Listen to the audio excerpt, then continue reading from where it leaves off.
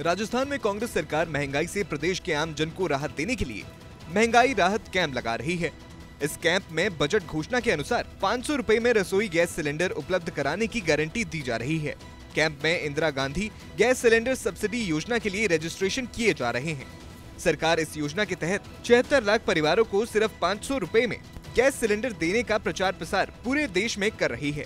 ऐसे में हम आपको यहाँ बताएँगे पाँच सौ में गैस सिलेंडर से जुड़ी पाँच बड़ी बातें। गहलोत सरकार महँगाई राहत कैंप के ज़रिए पाँच सौ में गैस सिलेंडर देने की गारंटी दे रही है। इसके लिए Indira Gandhi gas cylinder subsidy योजना में रजिस्ट्रेशन किया जा रहा है।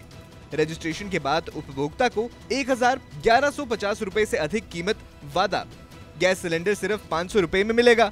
इस योजना से छिहत्तर लाख परिवारों तक महँगाई से राहत पहुँचाने का दावा किया जा रहा है।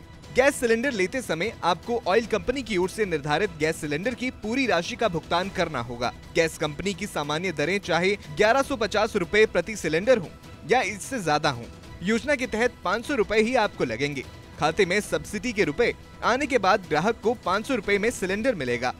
एक महीने के अंदर ग्राहक की ओर से दी गई राशि में से पाँच सौ कम करके बाकी राशि सब्सिडी के रूप में जन आधार से लिंक बैंक खाते में अपने आप आएगी।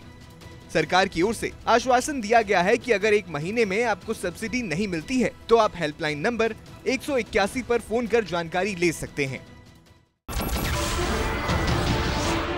नमस्कार, मैं हूँ मानक गुप्ता। अगर आपको हमारा ये वीडियो पसंद आया हो तो इसे लाइक और शेयर ज़रूर करें। और हाँ हमें सब्सक्राइब और फॉलो करना ना भूलें, ताकि आप देश और दुनिया की कोई खबर मिस ना करें। तो जुड़े रहिए हमारे साथ और देखते रहिए